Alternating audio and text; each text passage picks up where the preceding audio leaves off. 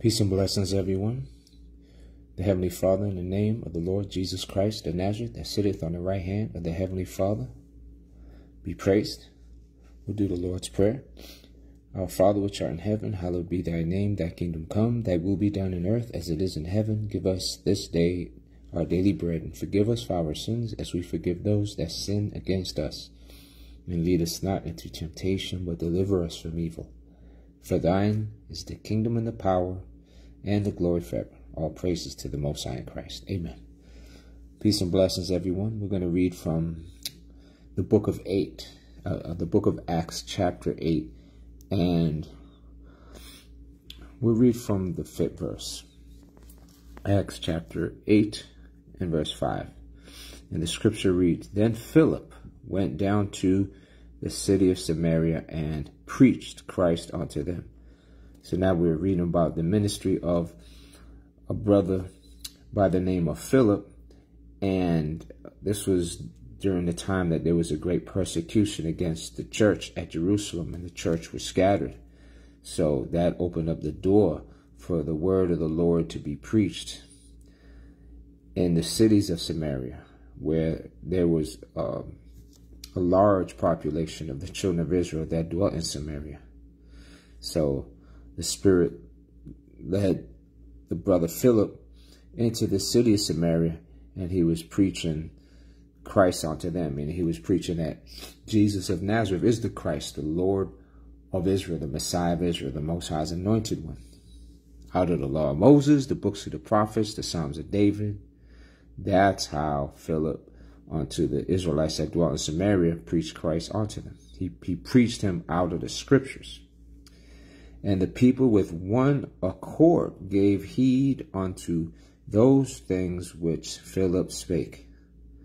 So when the people of Samaria were hearing Philip preach Christ unto them, they were all, you know, coming in one accord to to really take heed, pay close attention to the words that Philip was preaching unto them when he, when he preached Christ unto them. Then it says, hearing and seeing the miracles which he did. See, so they hearing the words that the Lord put in his heart to speak unto the children of Israel. Going into the law of Moses, the books of the prophets, and the Psalms of David, and going on to how going into how Jesus of Nazareth fulfilled those scriptures that spoke of the, the, the Messiah of Israel to come. And the words that he spake came with signs, just like when the other apostles of the Lord, when they preached, signs followed them. It tells us that in the book of Mark chapter 16, how the Lord was with them. So let me just get that point real quick. Mark 16, right?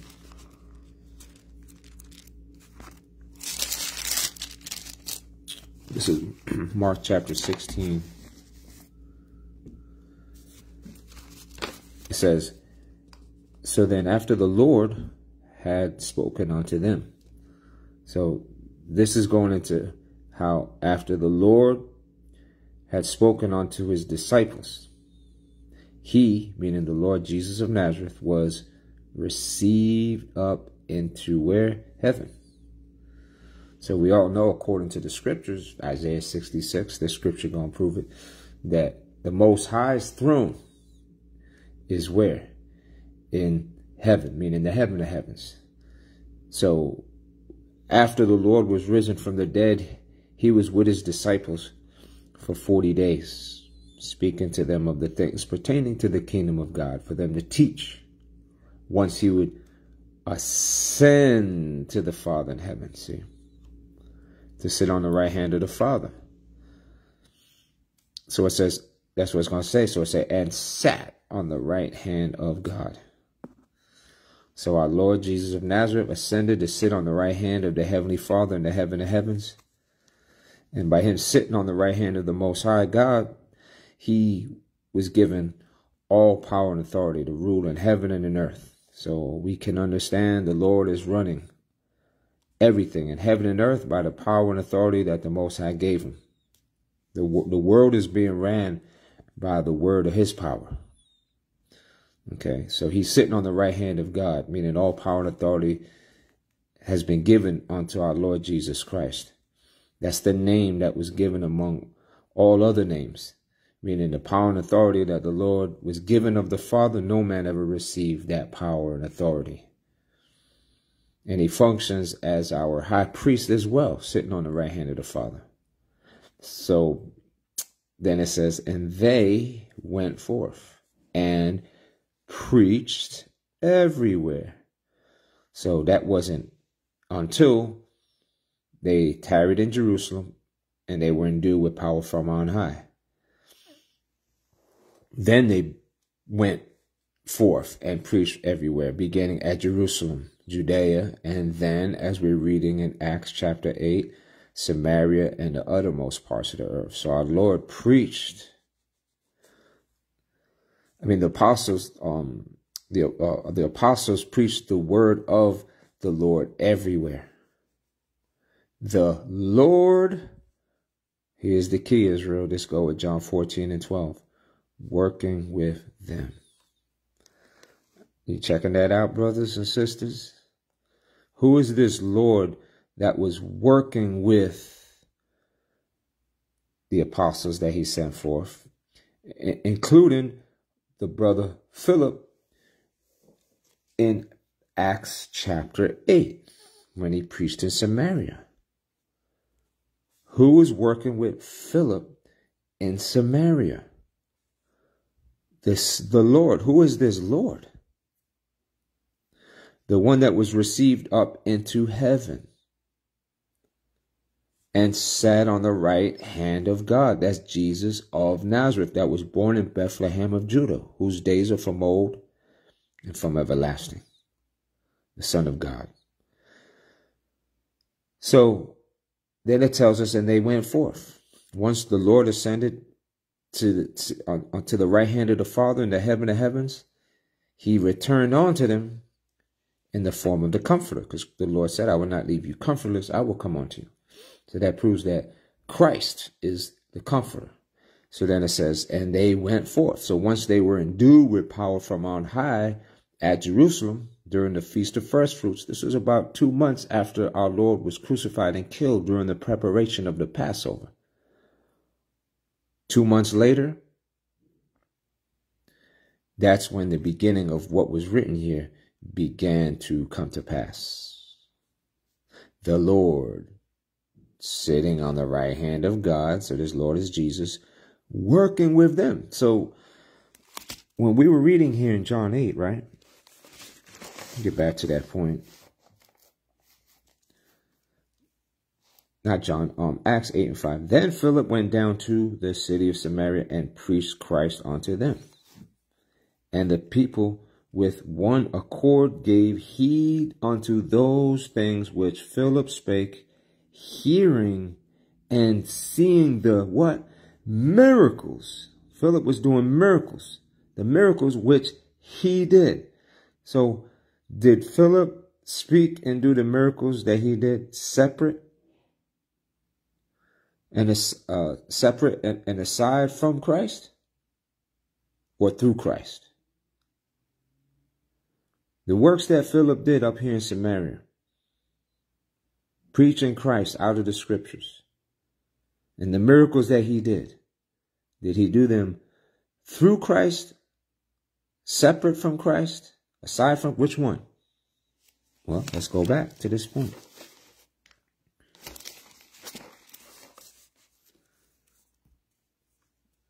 And they went forth, you know, beginning with the 12 disciples, when, when he sent them forth,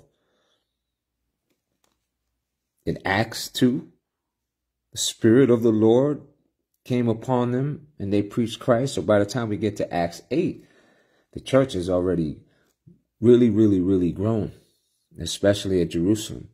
So there was a great persecution against the church at Jerusalem. And Saul was one of the main men that was behind this assault upon the church at Jerusalem. So it, it got so um, so bad for the church that it caused he caused a lot of havoc.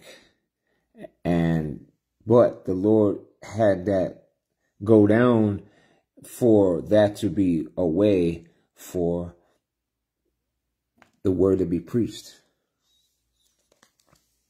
Okay, that's that's what that's that was what was going on in Acts chapter eight. So go um, I want to read this verse again, Mark 16, 20. And they went forth. In, which would include also later on in, in the ministry. Philip going into where? Samaria. And preached everywhere. The Lord. Remember it said that Philip preached Christ unto them? Who was with him? The Lord working with them. Who is this Lord? The same Lord that David, the son of Jesse, David, king of Israel, called the Messiah, the Christ. Jesus of Nazareth, the Lord, meaning Jesus of Nazareth, working with them. So that was the Lord working with Philip for the word and miracles to be done that the, the people of that certain city of Samaria witnessed. That's why Jesus is who he is. He is truly the Lord and the Christ, the Messiah, the Son of God of Israel. He's the, he's the most high's anointed one.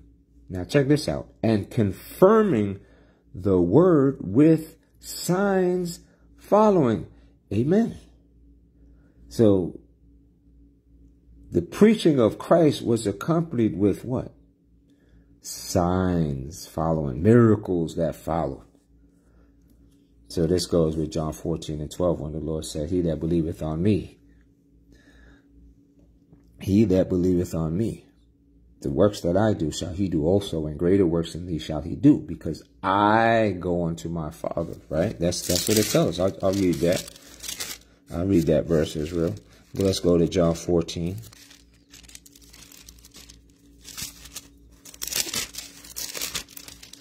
And then we'll go back to Acts 8.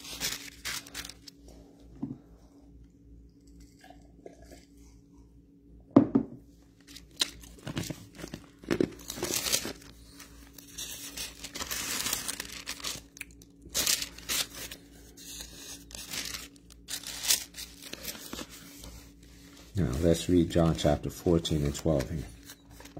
Because it was going down in Acts 8. I mean, before Acts 8, Acts 2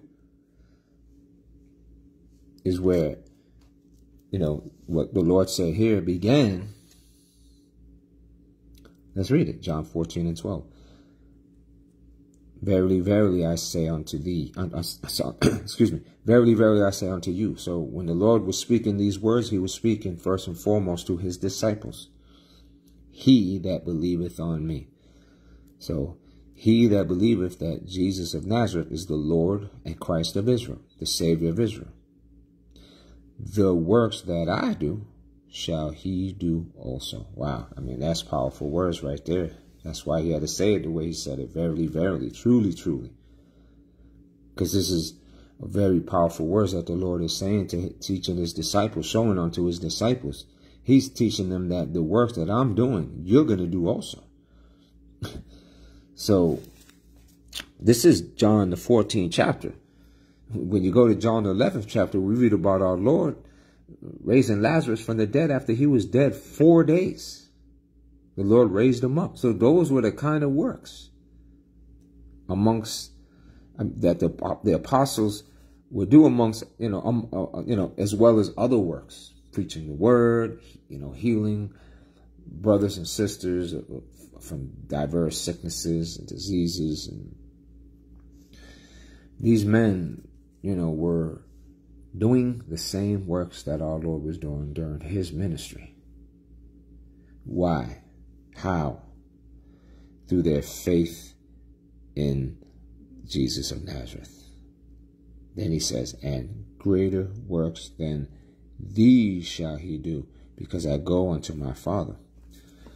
So these greater works that the disciples of the Lord would do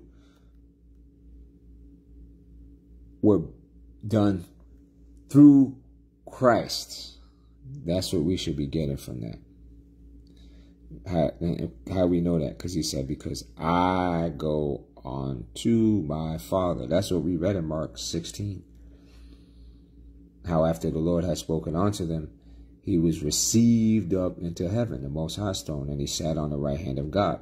So by the Lord ascending to sit on the right hand of the Heavenly Father in the heaven of heavens, he would be with those that believed upon him, so that they, through faith in Jesus, would be able to do the works that the Lord did and greater works, not separate, not aside from Christ, but just like we read here in Mark 16, or like we read in Mark 16. The Lord was working with them, the Lord working with them. That's what's happening here, Israel. So let's go back to that. And the people with one accord gave heed unto those things which Philip spake, hearing and seeing the miracles which he did. So remember, reference Mark 16, 19 and 20, as well as John 14, verse 12. That's how Philip and the rest of the men that he sent forth to preach this word were able to do the works that he was doing and greater works. Then it says, For unclean spirits, crying out with loud voice, came out of many that were possessed with them. Did not the Lord do these miracles when we read in throughout the book of Matthew and Mark and um, the book of John and, and the book of Luke? And many taken with palsies, just like throughout the Gospels. And they that were lame, just like throughout the Gospels, were healed. That sounds like Christ is in the midst of this, right? Well, of course he is. The Lord is working these works through Philip. Philip is a vessel. He preached Christ unto them because the Lord gave him the power and authority to preach that's how he was able to take uh, the, those unclean spirits that was in the people that were that possessed them, and and people that had these different infirmities and sicknesses and ailments. These sicknesses departed from them, and there was great joy in that city. So in that particular city of Samaria, there was great joy that the word being followed with miracles and signs was there present among them. So they get they were given you know, all praises to the Most High Christ, and they were rejoicing greatly, right? So let's read verse 9 now.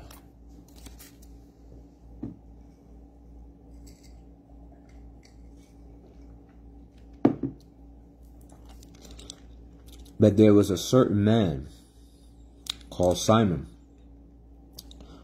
which before time in the same city used sorcery Hmm. And bewitched the people of Samaria, giving out that himself was some great one. So, by Simon using sorcery and casting spells on the people, he bewitched them. That means that he was used, you know, he was dealing with the use of, of spells and like I say in Deuteronomy 18, divination. So this brother had um, a way to manipulate, manipulate and control people and put them under a spell where they were in awe, where they were in great reverence of this work that he was doing, not in the name of the Most High in Christ, but you know, in allegiance to to Satan. Okay, because when you when we when man is dealing with sorcery and bewitching people, that man's dealing straight up with Satan. So then it says in verse um, 10, right? It says, To whom they all gave heed. See, so all the people in this city, he, he had them all bewitched where you know, whenever this guy was practicing his sorcery and witchcraft and bewitching people, it's like he had them under a spell where, you know, they they were all under under under the spell of his control in witchcraft, from the least to the greatest, saying, "This man is the great power of God. See, so they were deceived and bewitched into thinking that the sorcery that he was using was like some type of power that like the, the, the creator gave him, the most high gave him. And to him they had regard. So they had great regard for this man. Because that of a long time he had bewitched them with sorcery. See, that's why, like when we read in Galatians, the third chapter, remember when Paul said, Who hath bewitched you that you should not obey the truth? So, who, who you know, who are the ones that were being bewitched? The Israelites that dwell in Galatia that were at one time following Christ according to the scriptures, but then they were being controlled and manipulated and bewitched under the spell, they were under the spell of witchcraft into following the doctrine of, of the of the Pharisees, see the chief priests, elders, and scribes of Israel into believing that that we're saved by following the old covenant. When we're saved by Christ, because the old covenant and the prophets that were that spoke under the old covenant, they spoke concerning Jesus of Nazareth being our righteousness. Like tell us in Jeremiah 23, for example. Okay, so now, and, and that's why Paul was getting on the Israelites in Galatia, because it shows you that when when when when man is using sorceries to control and manipulate people, that now they think like he he's some great man of God.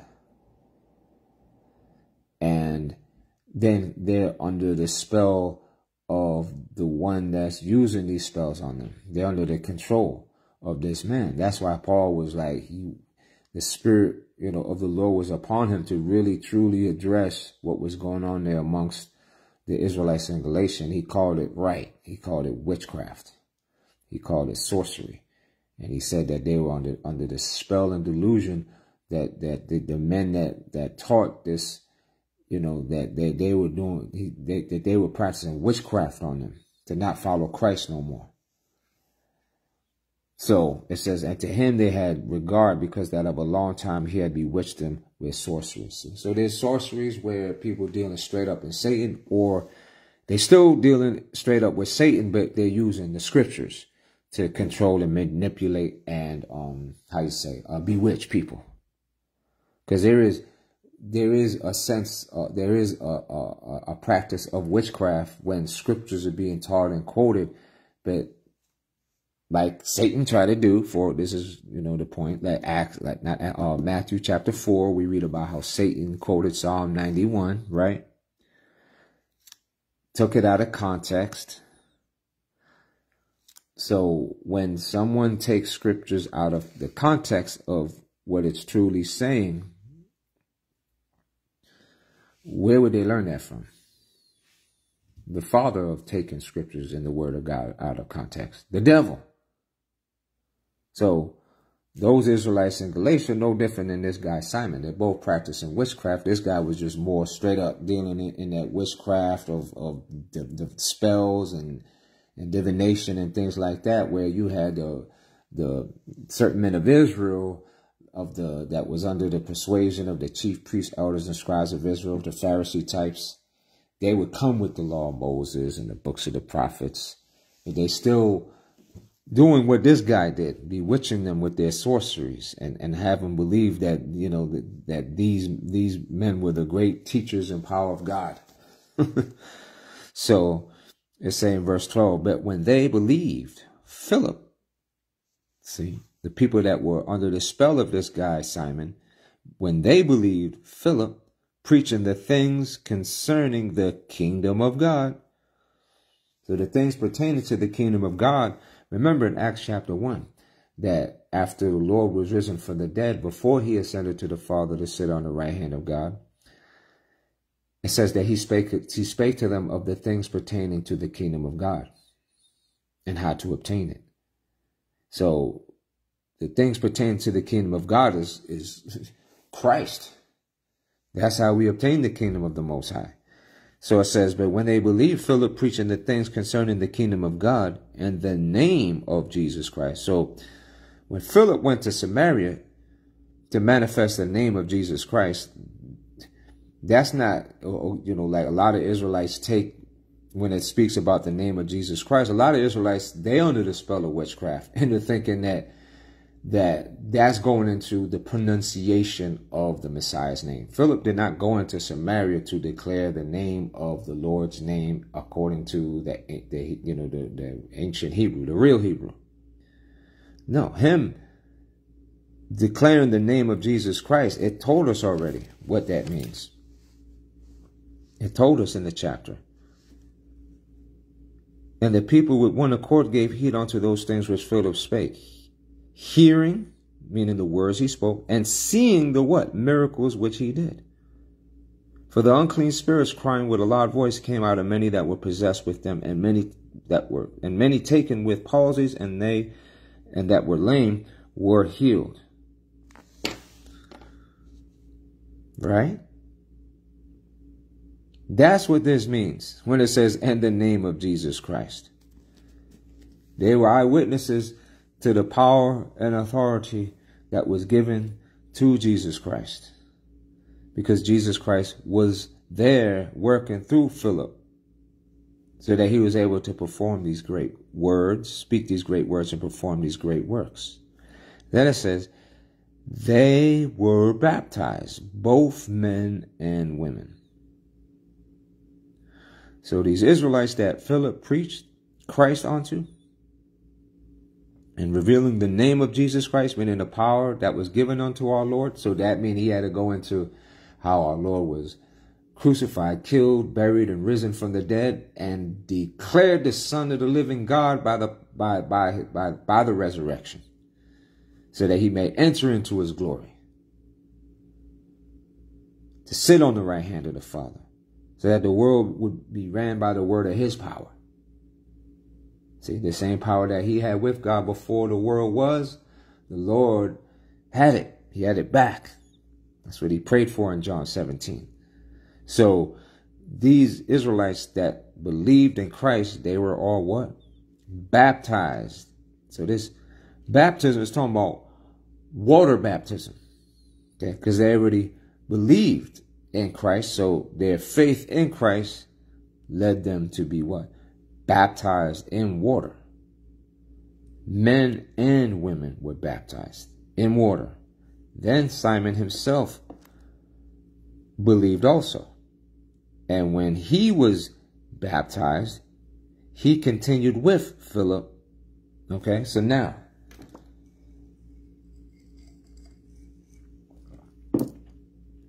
Now there's guy Simon here that practiced sorcery and bewitched the people with his witchcraft. He got baptized in water. He continued with Philip and wondered,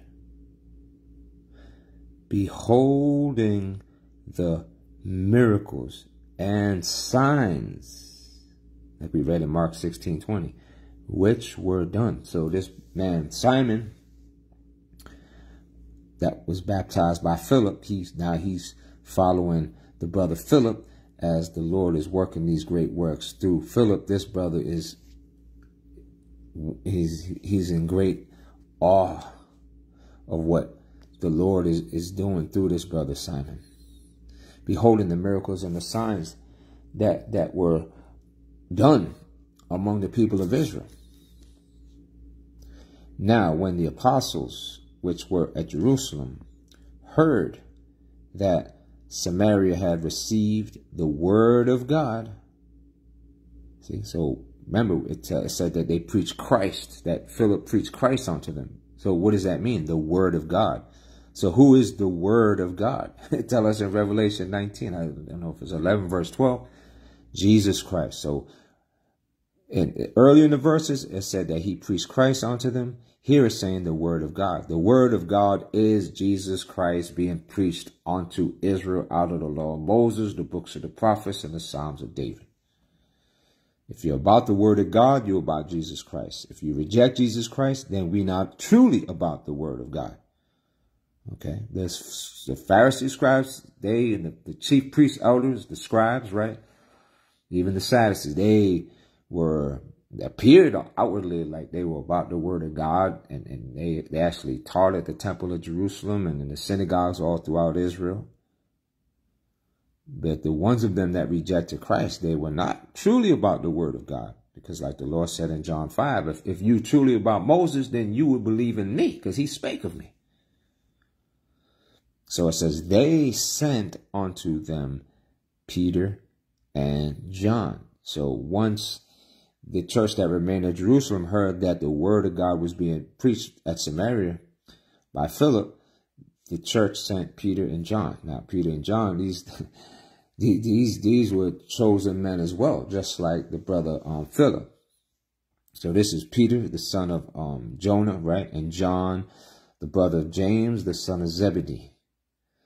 These were two men that the Lord, when we read in Matthew 4, called into his discipleship and and and it, taught them that I'm, I'm going to make you fishers of men.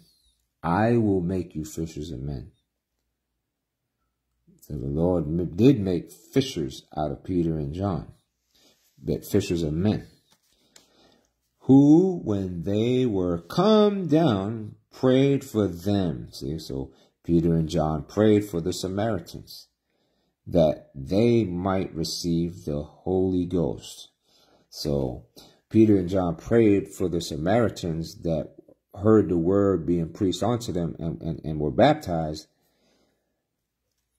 Why, why were those two brothers praying over them? That they might receive the Holy Ghost or the Holy Spirit. Okay. So the Holy, the Holy Spirit is, it tells us I mean, there's one scripture that really just pinpoints what the Holy Spirit is. I'll just read it real quick. Let's go back to that same book of John 14. Sometimes it just to get one, you know, I wouldn't say it's the best. I, the most I know is what's best, but this is one of the, one of the, this is like a top notch scripture. Put it like that. So this is John 14.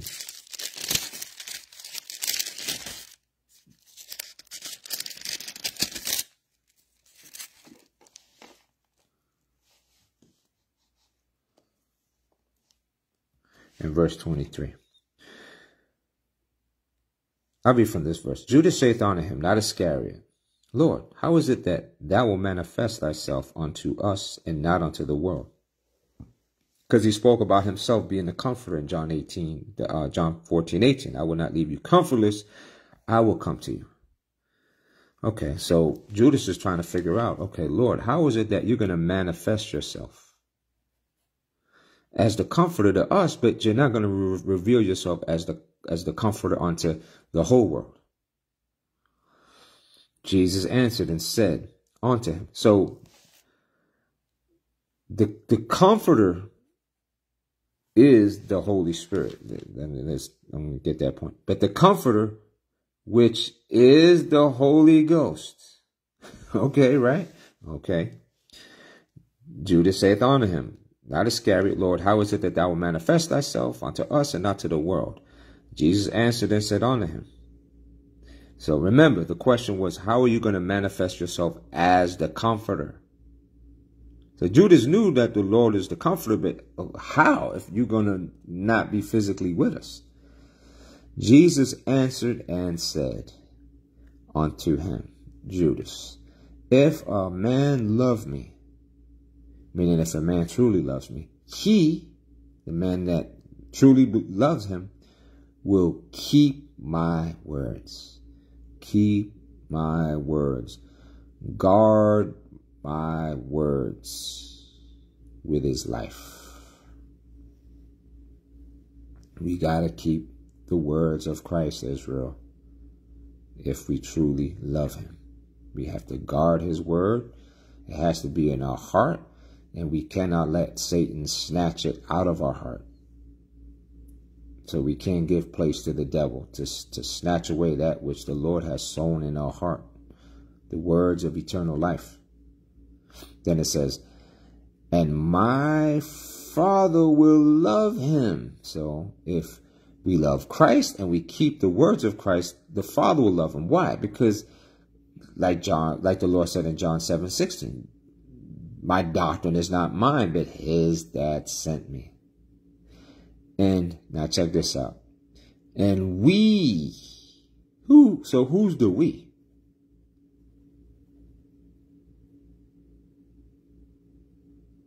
The Father and Jesus. The same as is described in Genesis 1.26. And let us make man in our image. Who is the us? In Genesis 1.26. The Father speaking unto Jesus, our Lord. Let us make man in our image after our likeness. Well, guess what? Through the outpouring of the Comforter, the Holy Spirit, the Spirit of truth, we're going to be made a new creature. Because unless a man be born again, he shall not see the kingdom of God. That's why we need the comforter. Because if there's no comforter, we have no life. If there's no comforter, we cannot become a new creature. If a man love me, he will keep my words, and my Father will love him, and we will come unto him. Manifest thyself. We, the Father and Jesus, will come unto him and make our abode with him. So where's the Most High dwell? If heaven is his throne and the earth is his footstool, what can't we gonna say is the, the home of truth?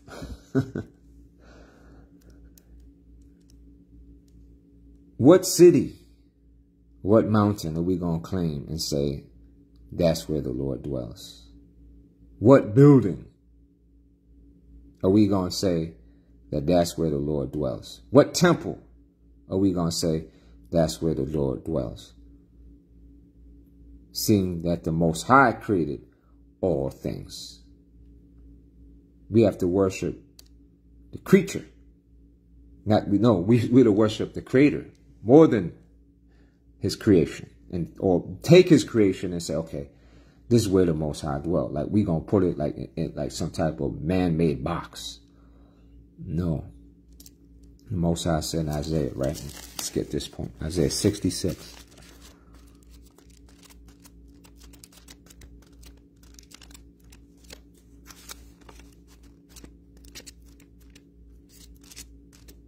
Since we quoted it, let's just read it.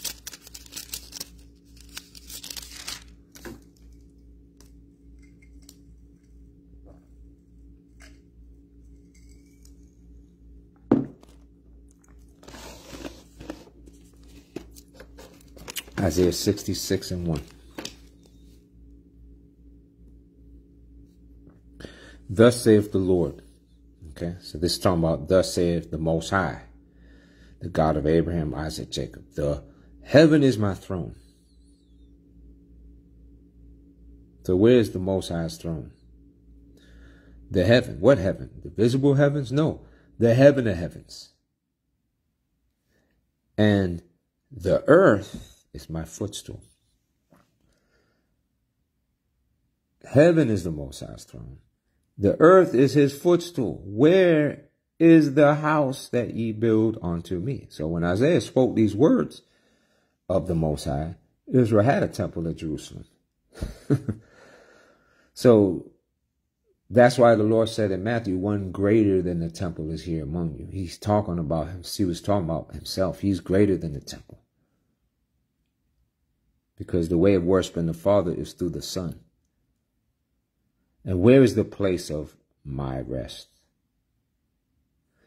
Where, what location is the place of the rest of the Most High? Where does the Most High Spirit dwell? Where does the Most High rest?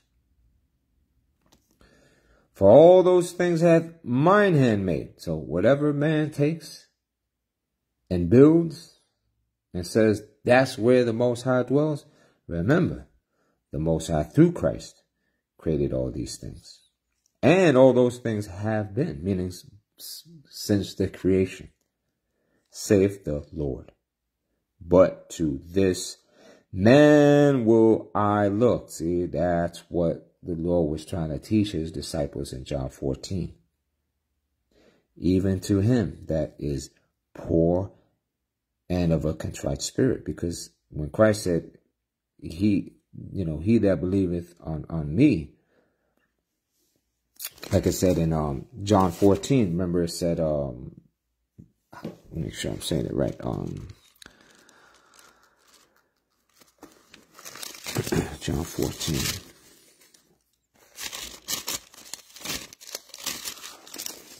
Go back to that point real quick.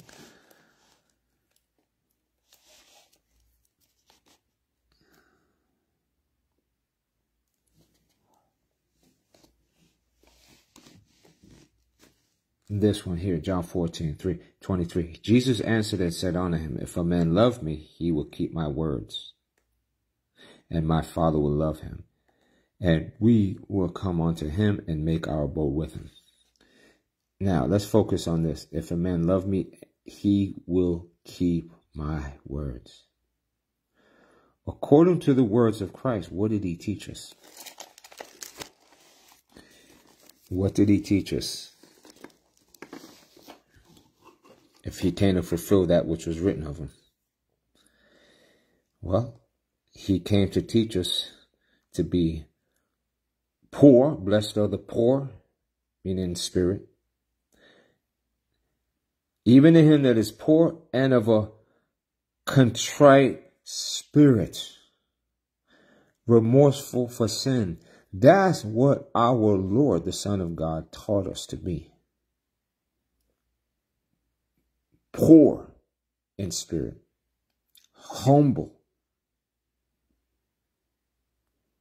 of a contrite spirit, remorseful for sin, humble, teachable, become his children, void of malice, and trembleth at my word.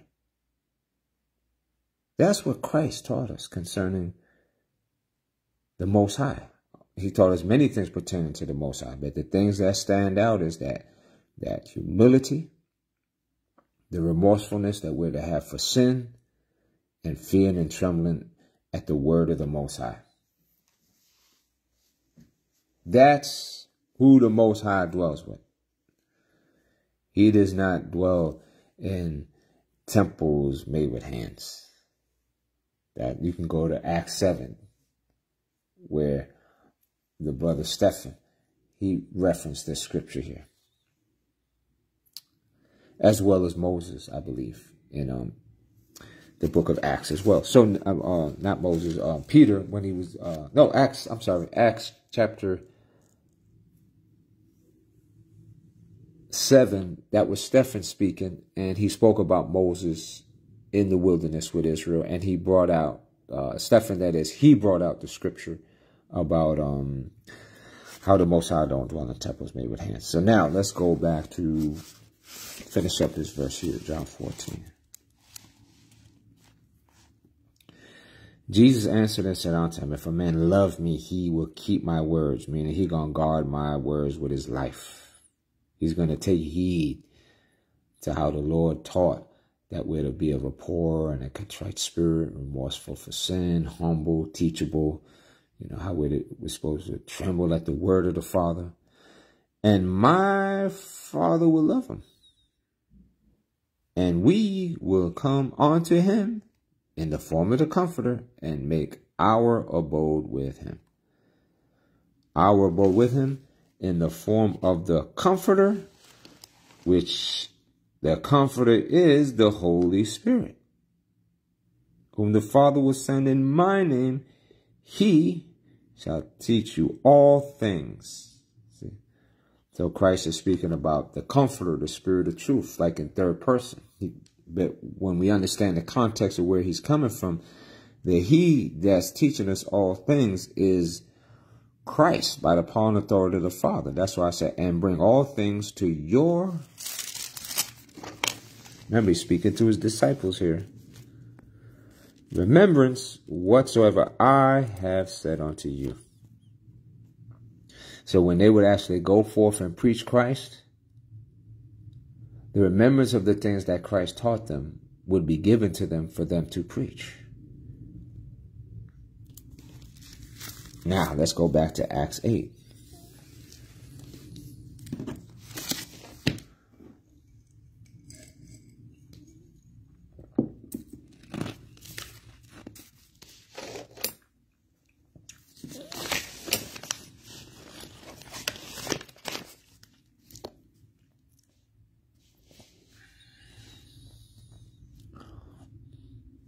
Now, when the apostles which were at Jerusalem heard that Samaria had received the word of God, they sent unto them Peter and John, who, when they, meaning Peter and John, were come down, prayed for them, meaning the Israelites of Samaria that uh, Philip preached unto, that they might receive the Holy Ghost, or the outpouring of the Holy Spirit, the comfort, the Spirit of truth.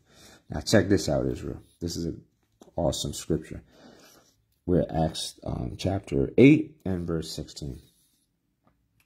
For as yet, meaning not yet, he was fallen upon none of them.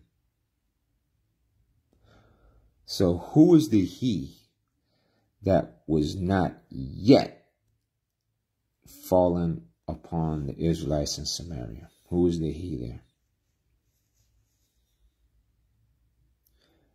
What? We're going to keep reading. Only they, meaning the Israelites of Samaria, that got baptized by Philip and had the word preached unto them, and miracles were done through him by Christ, were baptized, meaning in water, in the name of the Lord Jesus. So when Philip baptized those Israelites in Samaria in water, under whose power and authority were they baptized under? The power and authority of, of, of Christ. But what was unique in this circumstance here was that he was not yet fallen upon none of them, meaning they didn't receive the Holy Spirit yet but it's referencing the Holy Spirit as as who?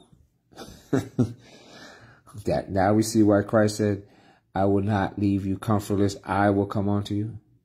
I will not leave you comfortless, I will come unto you. And then when we read in verse 23, that's bringing home. It's the spirit of the Most High in Christ, the presence of the Most High in Christ in the form of the comfort of the Holy Spirit, because it's through the, it's the Holy Spirit, by the Spirit of the Most High Christ upon us, that means the word is being sown in his heart. The Spirit of the Most High is of, and Christ, the word, is being sown in our hearts to become a new creature.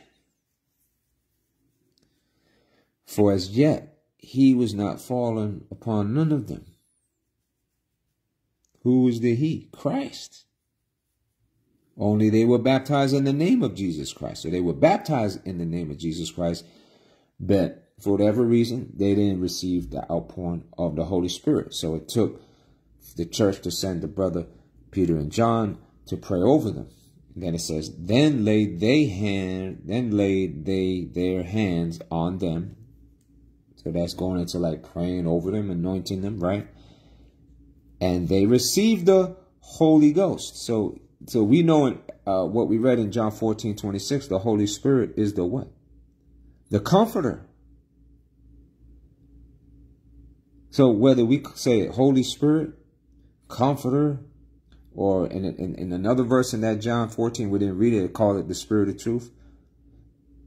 Who is it talking about? Jesus. Come on, Israel. We can't gainsay that. So now, like all these doctrines in Israel, amongst our people. Where you get Muhammad, I have no idea. Where we get this guy is the comforter, that's not the scriptures. You got some Israelites talking about the Holy Spirit is a feminine spirit. That's Queen of Heaven doctrine being disguised as the truth. So you got Israelites actually teaching that the Holy Spirit is a feminine spirit. Well, why would you teach such a doctrine? Well, want want to to to practice scripture sorcery. Take scriptures out of context to bewitch brothers and sisters, sons and daughters, to manipulate and control them. And that's what you got in a lot of these Israelite doctrines. Manipulation. These Israelites are practicing witchcraft on you, Israel. Sorcery. Sorcery of scriptures. These scriptures we read were plain. You can't get no other doctrine. The spirit of truth is in our camp. That's just as wicked as teaching that the Holy Spirit is a feminine spirit. Or the comfort is talking about Muhammad. Like you got our brothers lost in Islam and 5% and all these crazy doctrines where they take scriptures out of context to what? Control and manipulate you just like this man Simon.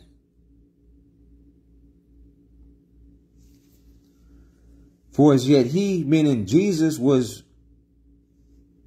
for as yet he was fallen upon none of them. So they received the Spirit, the outpouring of the Holy Spirit. Although they were baptized in water. Then John and James laid their hands on them and they received the Holy Spirit. And when Simon saw that through the laying on of the apostles' hands, the Holy Ghost or the Holy Spirit, the Comforter, the Spirit of truth, not a feminine spirit. Not the, not, not the idolatrous worship of corrupt men spirit in these Israelite camps that claim they're the home of truth, whether they saying it directly or indirectly, because it ain't just one camp, was given. He offered them money. So what is that showing you? This man is not spiritual. And this man has not put off the old man. Because when he was practicing the witchcraft on the people, what's he getting out of it? Money. So now he see the Holy Spirit at work where people receiving the Holy Spirit and they had the gift of to speak the, you know, because uh, there's different gifts according to the Spirit. So whatever gifts that were given among them, this brother Simon is, is seeing these things. And what's he saying? What's he seeing when he sees this? Cha-ching, cha-ching. He's seeing what? Shoot, if I could buy this with money, then I can use this same power of the Holy Spirit and what? Do what he doing in the spirit of Peter and John? No. No. That's why it's showing us, Israel, that when, when we get baptized, we have to truly put off the old man. Or else we're going to do the same sins that we did when we were in the world without Christ and do these works with a Hebrew name.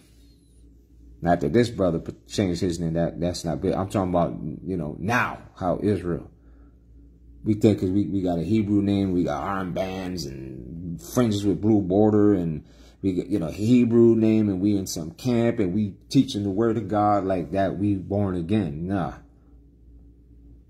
We have to change Israel. What do we read? How we have to be poor and contrite spirit, man. We're supposed to be humble, man. We're supposed to be about repenting. That's what they say. Contrite of spirit. What are we supposed to be contrite concerning? Remorseful of sin.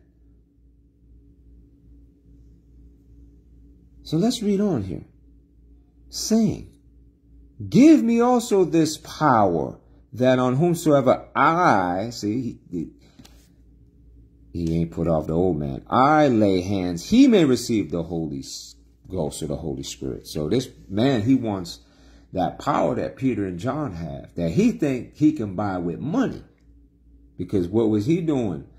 with the people that he bewitched. They thought that he was some great power. Why? Because he's about controlling, manipulating people, getting money for them to do this sorcery. So now he want to use the power of the Holy Spirit that's manifest among Peter and, and John.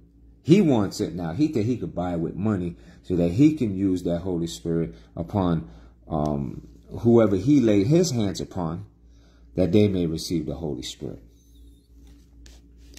But his heart is not right, Israel. And it's going to explain. It's going to explain.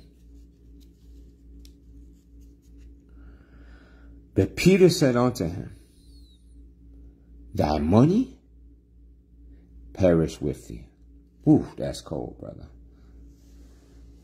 Thy money perish with thee. You and your money perish.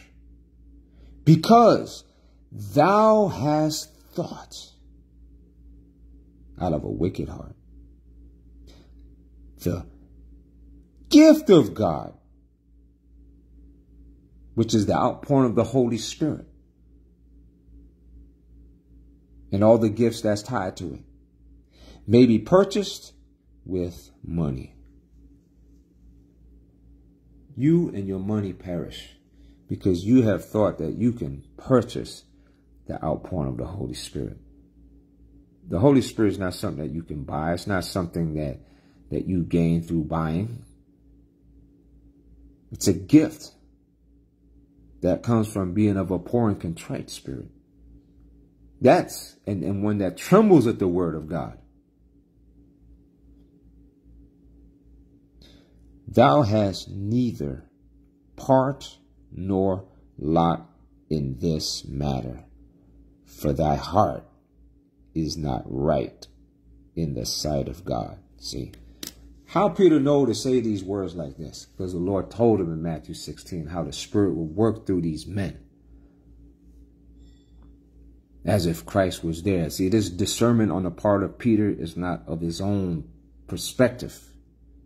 It's the perspective of what the Spirit of the Most High in Christ is revealing and speaking through him through his discernment, discernment, discernment on his part, look, looking at this guy, um, this man, um, Simon. So what is Peter saying? You have no part, no share. Why? Obviously, the man is what? Covetous.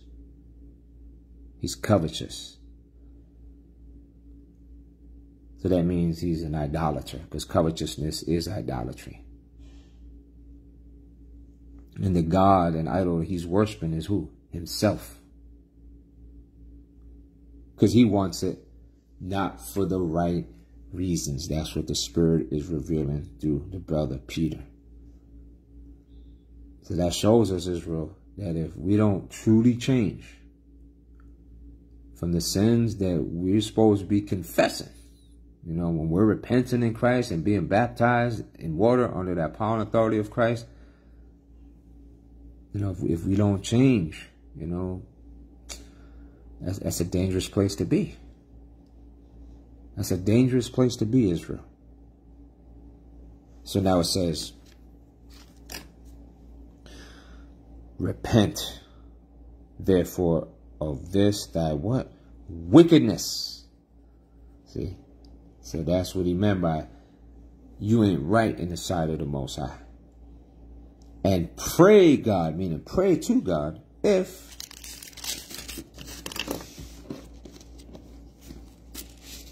if perhaps, God willing, the thought of thine heart.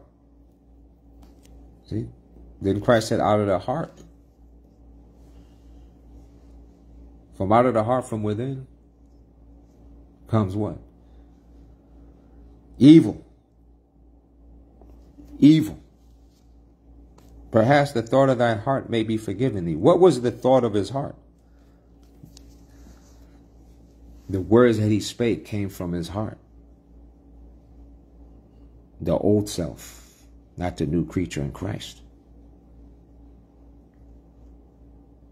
there's a scripture where the Lord speaks about out uh, you know from you know um, out of the abundance of of uh, of our heart uh, you know the words that come out I forget how I say it exactly I'm sorry for chopping it up um, I'll post it in the um the comment section because I, I don't want to you know not say it right but more or less the Lord is saying what what comes out of man's heart and the things that he, what man speaks in, in his behavior, it's, it comes from the heart, whether good or evil. So what's come, what was the thought that, that, that proceeded out of, uh, of a, a corrupt heart? That he thought that the Holy Spirit could be bought with money and, and on top of that, for covetous practices. He wanted to use it in a way where it was not going to glorify the Most High in Christ. Because when Peter and John were doing these works, they already set the example. For example, in John 3, I mean, Acts 3, when they were performing these works, the works of, of the Most High in Christ among Israel, they never did it to seek some type of vainglory, to make it about themselves. That's why Peter and John said, Look, why you look upon us as through our own holiness of power, we made this man whole. See? Now imagine a man like um, um, um, Simon here receiving that power like Peter and John had. What's he going to do with that power? He going to corrupt himself. And do witchcraft and sorcery and bewitch the people. So that's why Peter said, look, you have no share in this. This lot here, the ministry of the Lord, you don't have no part. You there's no share in it for you. Not in that state. You need to repent to the Most High. That perhaps the thought of thine heart may be forgiven thee. That's cold, Israel. And he ain't done yet. Check this out. For I perceive, meaning I discern, I judge, that thou art in the gall of what? Bitterness and in the bond of iniquity. That's cold. The gall of bitterness, meaning the poison of bitterness. And in the bond or the control of what it say here? Iniquity, unrighteousness. His spirit was off. This brother is in the bond of iniquity. The control of who? Satan. Because when he was bewitching the people and controlling and manipulating them into thinking that he was some power of God, he was in, he was in the bondage of, of the devil when he was doing this. Satan was using him to use the people. So Satan had Simon in bond of iniquity and the people that was under his spell in the bond of iniquity. But they were released from that bond of iniquity. They believed in Christ. Simon's was only what? Surface level. But it wasn't what? From the heart. And that's the difference, Israel. That's what worshiping God in spirit and truth is all about, Israel. We have to truly, we have to be sincere. This brother wasn't sincere. You are in the bond of iniquity. You control you you under the you're under the control of iniquity in unrighteousness. So that's a cold scripture. I perceive that thou art in the gall of bitterness. Remember, he saw Philip, right? And he wondered, right?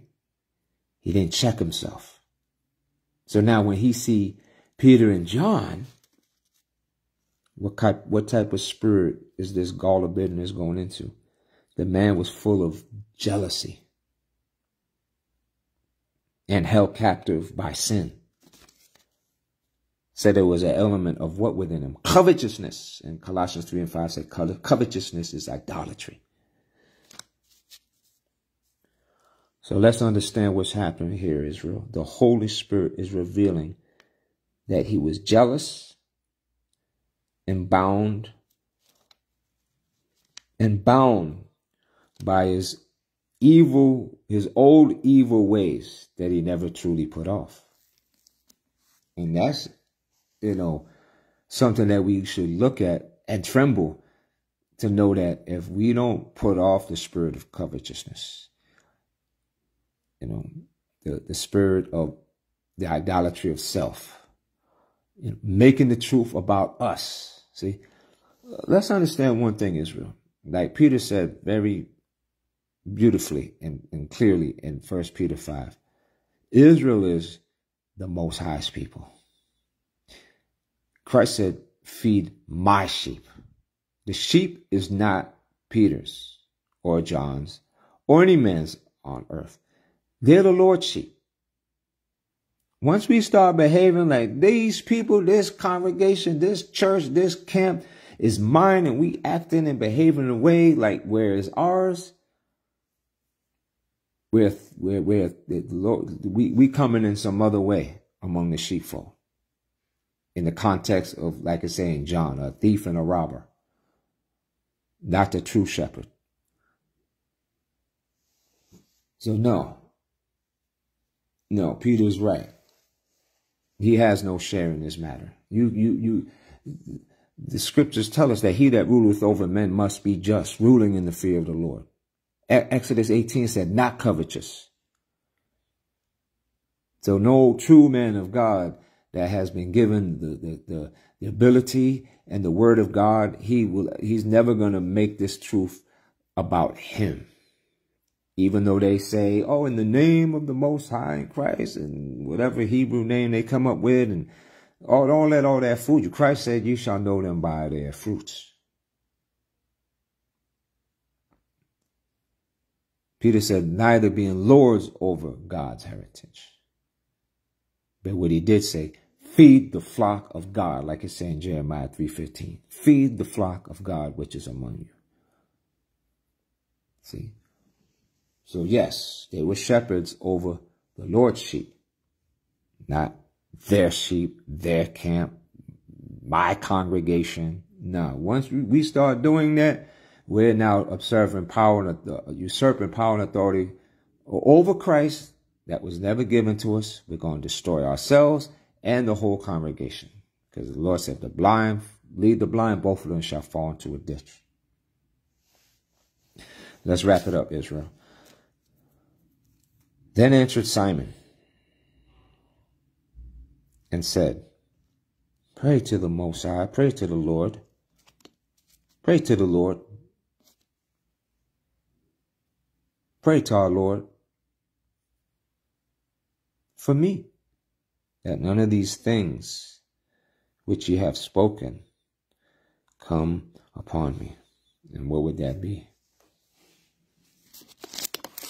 What were the things?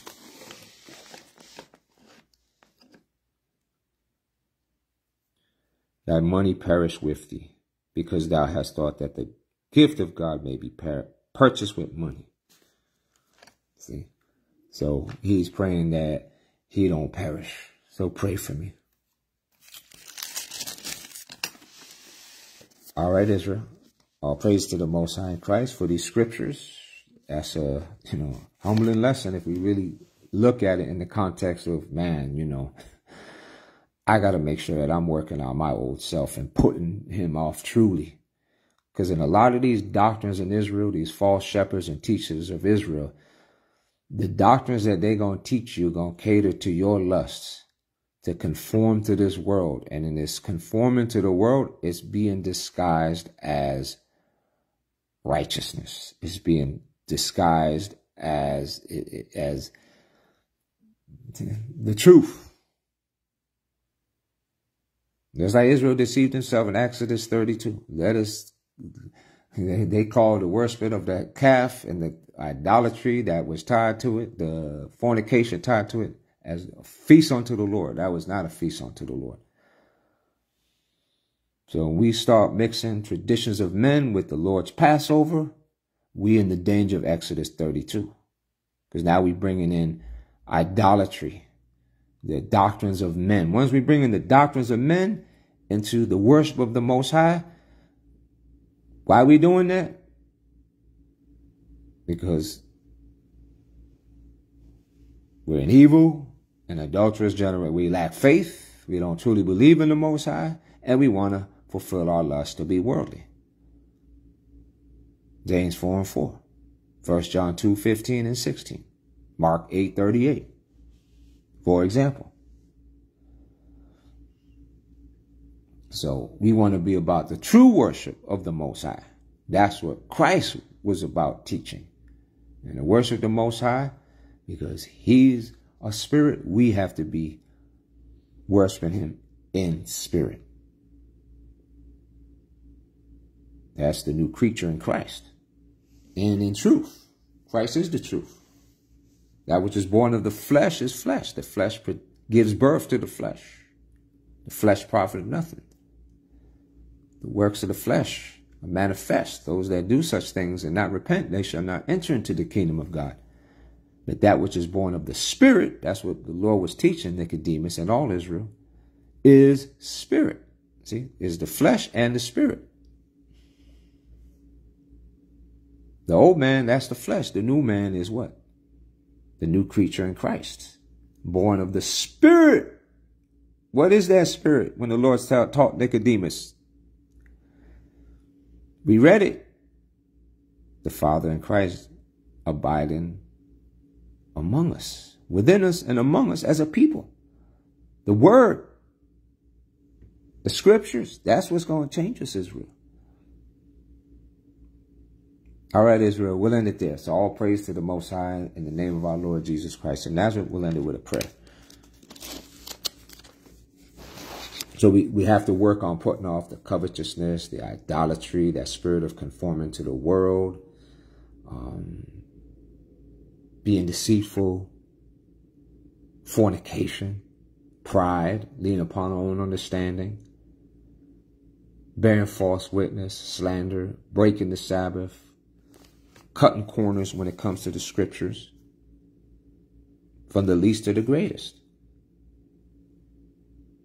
All right, Israel. So let's do a prayer. Psalm 119. We have to, we have to put that off.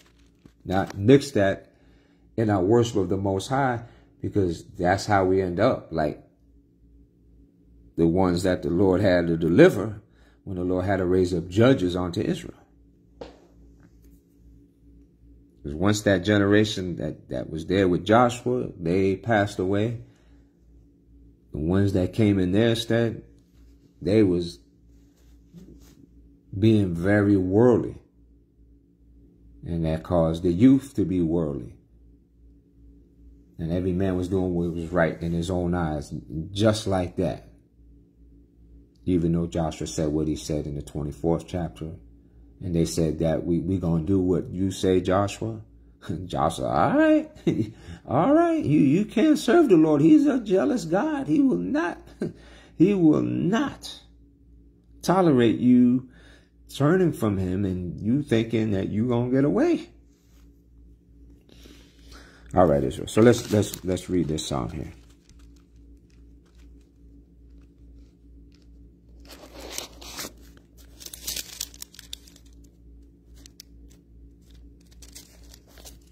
Psalm 114 and 1. When Israel went out of Egypt, the house of Jacob, from a people of a strange land, which Judah was his sanctuary and Israel his dominion.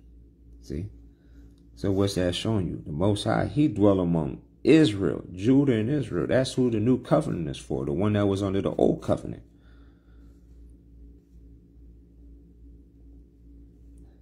So that go what we just read in Isaiah 66 when Judah and Israel was right, the sea saw it and fled. Jordan was driven back. See, these are the works that the Lord did amongst Israel, coming out of Egypt. And who was the Most High dwelling in? Amongst Israel. Amongst our people. The Red Sea saw it and fled. Jordan was driven back. The mountains skipped like rams and little hills like lambs.